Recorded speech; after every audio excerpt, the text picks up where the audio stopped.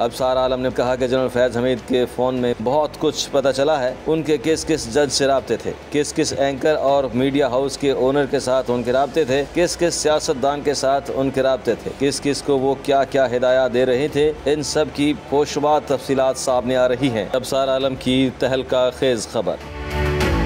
निजी चैनल के प्रोग्राम में गुफ्तु करते हुए सीनियर सहाफ़ी अबसार आलम का कहना था कि सबक D G I S I और सबक corps commander Peshawar general retired Faiz Hamid की गिरफ्तारी एक बहुत बड़ा वाक़ है और लोग इस हवाले से बहुत सारे सवाल पूछ रहे हैं।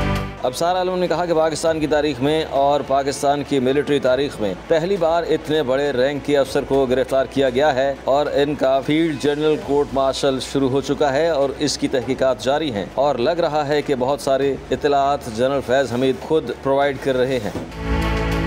अबसार आलम ने मजीद कहा कि जनरल फैज़ हमीद के फ़ोन में भी बहुत कुछ पता चला है। उनके किस किस जज से रबते थे? किस किस एंकर और मीडिया हाउस के ओनर के साथ उनके रबते थे? किस किस सियासतदान के साथ उनके रबते थे? किस किस को वो क्या क्या हिदायत दे रहे थे? इन सब की पोशवा तफसीलात सामने आ रही हैं और एक पैरल जो उन्होंने सिस्टम बनाया हुआ था पाकिस्तान के सिस्टम के, फौज के सिस्टम के और आई एस आई के सिस्टम के, वो पैरल सिस्टम एक्सपोज हुआ है और इस सब में कितना माल बनाया गया, ये मालूम करने में में बड़ा टाइम लगेगा।